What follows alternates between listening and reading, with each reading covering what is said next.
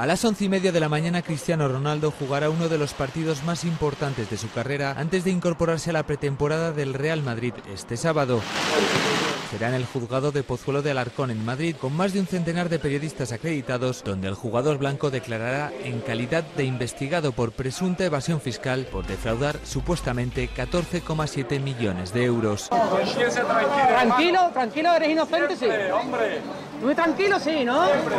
El futbolista está acusado de cometer cuatro delitos fiscales entre 2011 y 2014 al incumplir, según la Fiscalía, sus obligaciones de manera voluntaria y consciente.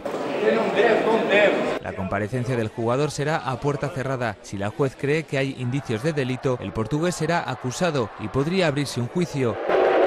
En este caso, Cristiano Ronaldo se podría enfrentar a una pena mínima de siete años de prisión, según los técnicos de Hacienda, que con el atenuante podría reducirse a 21 meses.